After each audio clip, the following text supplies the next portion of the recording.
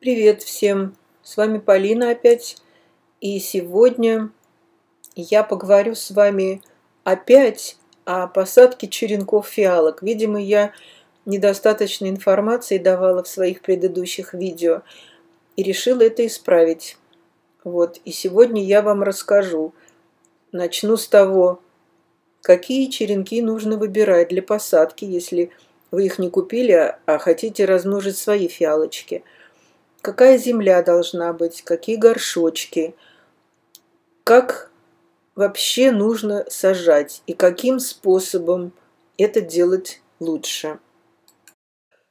Я хочу сразу сказать о посадке э, черенков в воду.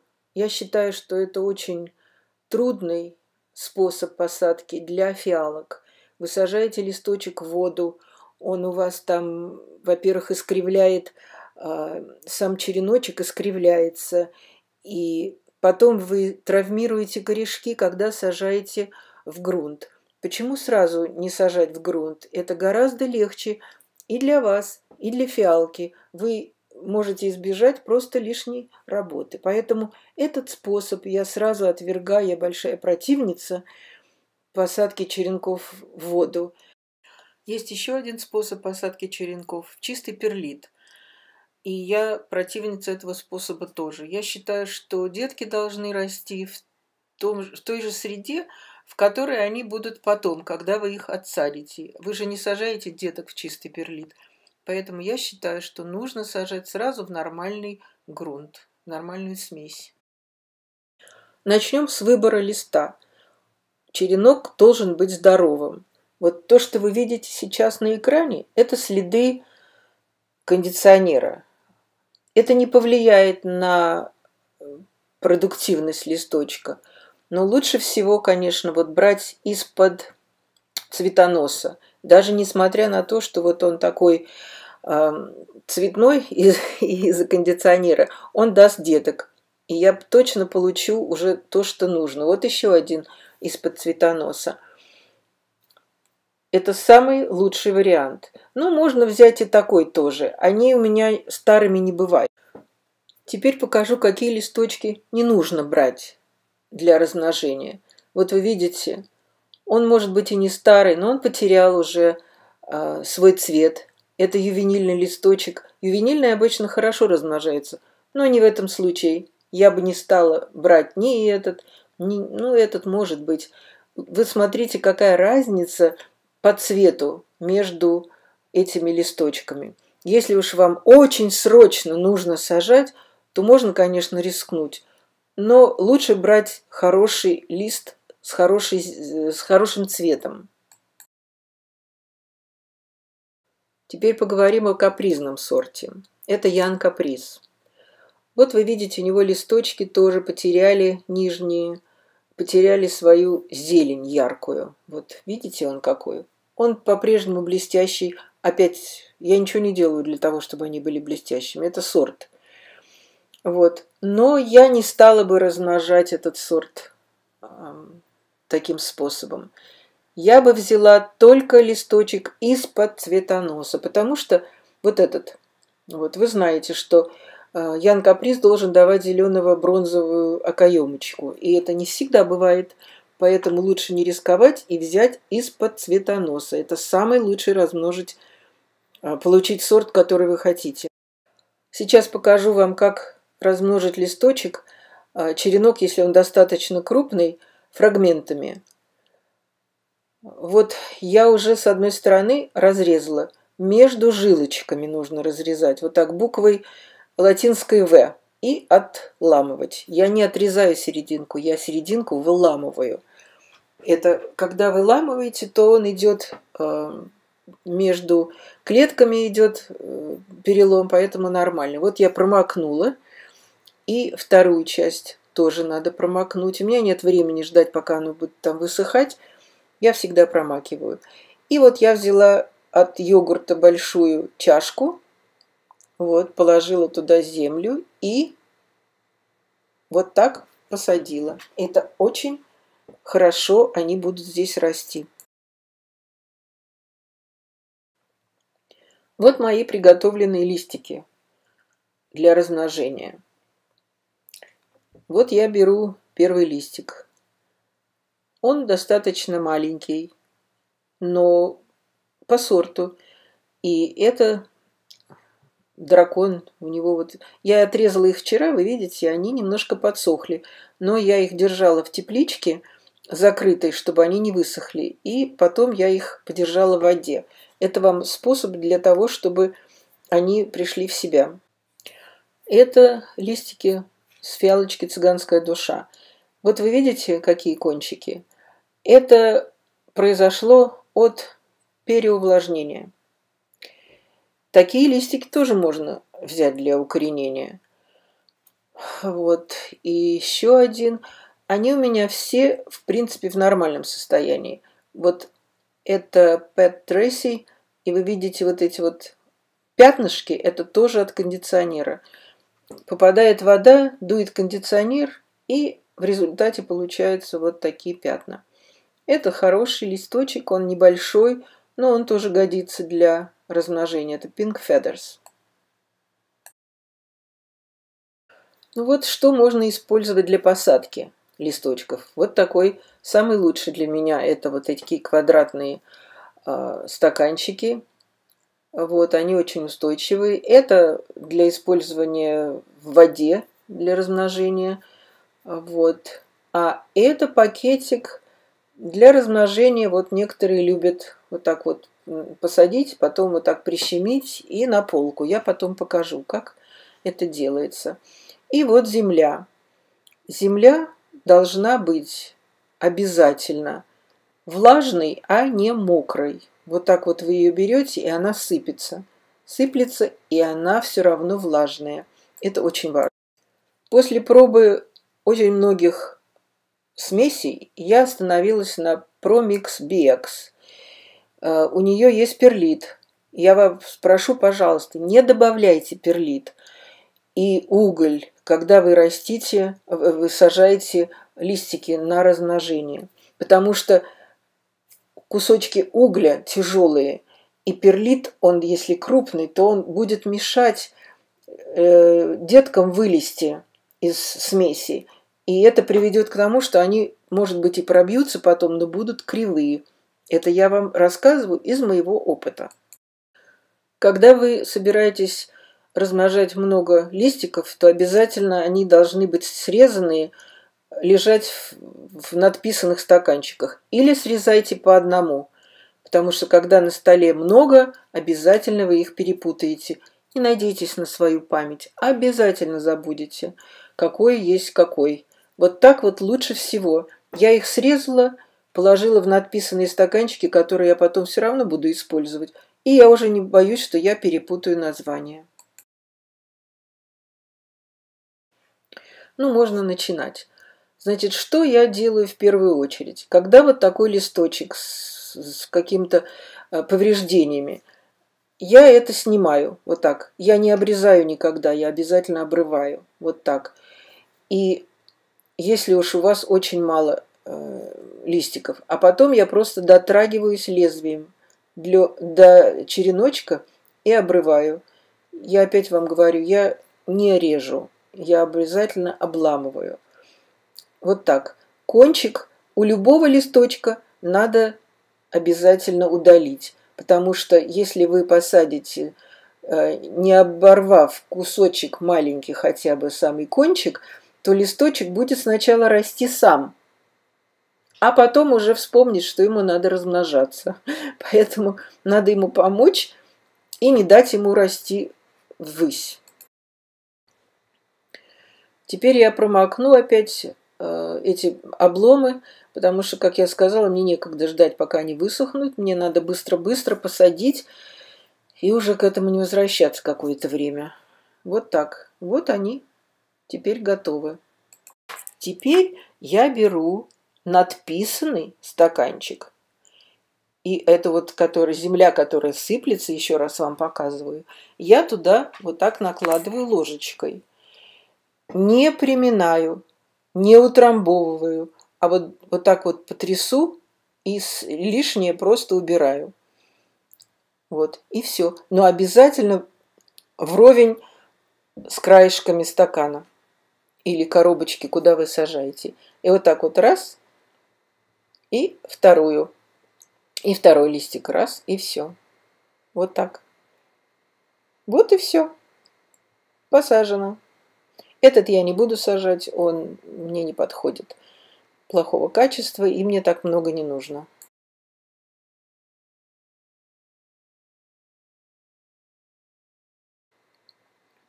Следующий сорт. Золотой дракон. Опять вы видите длинный череночек. Обязательно нужно его обломать и удалить самый кончик. Так вот дотронуться. Вот. И обломать. Все, это очень нетрудно делать. Это уже был какой-то там дефект. Вот так. Ничего страшного в этом нет. И еще раз вот так дотронуться и обломать. Вы, главное, не бойтесь. Все мы начинали как-то, было немножко страшновато, но, как говорится, они же не кусаются, эти листочки. Работайте с ними в удовольствие. Вот так. Вот. И кончик. Вот так вот дев... девочки, они готовы у нас к посадке. И опять я промокаю. Честно вам скажу, кончики листиков я не промокаю. У меня нет времени на это. Они сами высохнут. Они же на воздухе остаются, поэтому их можно не промокать. Так, я опять набираю вот эту рассыпчатую землю. О, она должна быть как гречневая каша. Во, рассыпчатая. Ну вот, я потрясла, все я сделала, и теперь можно сажать вот так. Я сейчас сажаю не так, как я буду ставить в тепличку. Я забыла вам это сказать, что... Но потом я... Вот так нужно сажать, потому что все листочки должны смотреть э, к свету, быть обращены. Я в каком-то видео видела, что сказали, что это не обязательно, им свет не очень сильно нужен листочкам, я очень удивилась, я ничего не оставила, конечно, я больше этого не делаю, чтобы на меня не обижались. Но поверьте мне, что листикам обязательно нужен свет, чтобы они могли э, вырастить деток. Свет постоянно, как следует, и много. А третий я посажу потом, я уже вам не буду показывать. Вот следующий сортик. Хочу показать вам, что если вы решите ставить все-таки в воду, то вы должны смотреть, чтобы кончик не касался донышка. Ни в коем случае. Вот в моем случае я бы могла посадить в этот стаканчик, потому что листик достаточно широкий. Вот. И эта ножка вот такой длины должна быть, где-то сантиметр полтора, не больше. Я вообще оставляю где-то сантиметр. Вот. А, ну вот, Опять я отщипываю кончик и все равно, хоть и короткая ножка, но я вот этот присохший кончик все равно обламываю. Обязательно, чтобы был свежий срез. Вот так. Промокаю. И то же самое проделываю с другими листочками. Вот так чуть-чуть обламываю. Буквально отщипываю, не обламываю, а отщипываю самый хвостик э, от центральной вот этой жилочки на листике. И еще кусочек от этого. Ничего страшного, если у вас обломается черенок совсем под основание листика. В этом случае тоже можно сажать, вы тоже получите деток. И опять набираю землю, потряхиваю ее, вот так. И сажаю. Вот так. Видите, совсем не трудно и не сложно.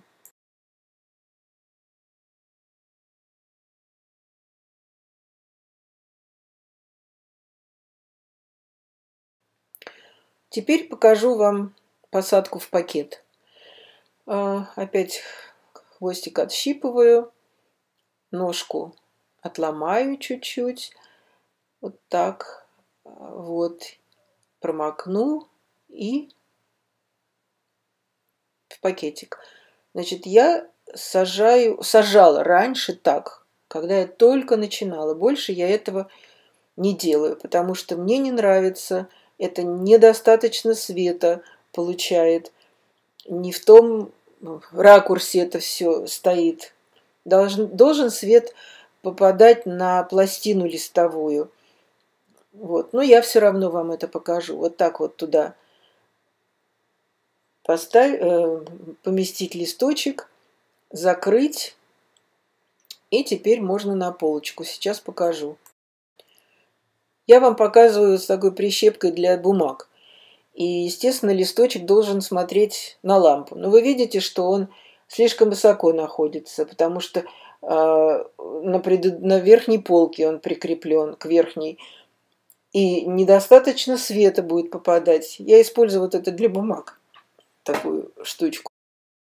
Теперь, когда у вас маленький листочек, череночек маленький, а ножка у него достаточно длинная, и если вы решите ставить ее, опять же, в воду, то все равно надо обламывать. Вы видите, он почти доходит до дна, и он провалится, он в любой стаканчик провалится. Значит, нужно будет покрывать пленочкой этот стакан, делать дырочку, и только тогда его туда помещать. Это совершенно для меня не подходит. Я делаю, вот опять вам показываю, обломала ножку, отщипнула э, самый кончик, и опять набираю э, землю.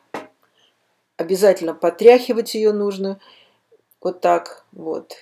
Не уплотнять, не уминать. И... А, вот, забыла промокнуть. И вот так сажаю. Вот, все.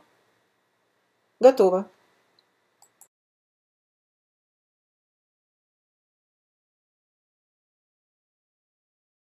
Теперь подготовка теплички. Я кладу туда вот эту ткань синтетическую, поливаю ее водой, только не заливаю, а вот так вот я ее промакиваю, чтобы она оставалась просто влажной. И еще, и еще, чтобы все уголки, чтобы все-все было влажным. Это очень помогает а, в процессе вот наращивания корешков, и потом детки вылезут хорошие, зелененькие, вот так вот нужно чуть-чуть ее пошевелить, чтобы вода во все концы попала этого подноса. Какая бы ни была у вас тепличка, от торта, не, не важно, все равно процесс те, тот же самый.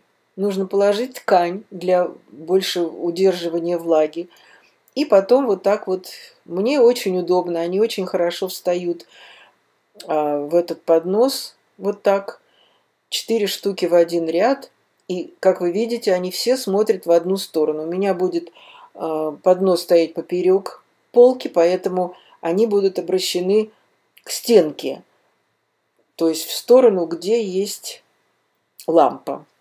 Вот так вот я их готовлю. И накрываю. Вот, вот это вот у меня готова тепличка. Она, конечно, не заполнена, а просто сейчас вот вам показать. В моих тепличках есть вот такие вот штучки, которые можно открыть, и там будет э, доступ воздуха. Но я держу их закрытыми. Если мне нужно проверить, проветрить, я просто приподнимаю еще что-то хотела сказать. На YouTube много видео о том, как быстрее сделать, чтобы ваши листочки дали деток. Нельзя ничего сделать для этого.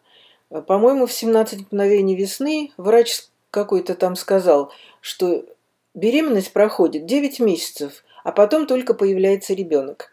Так и у листочков, у фиалок.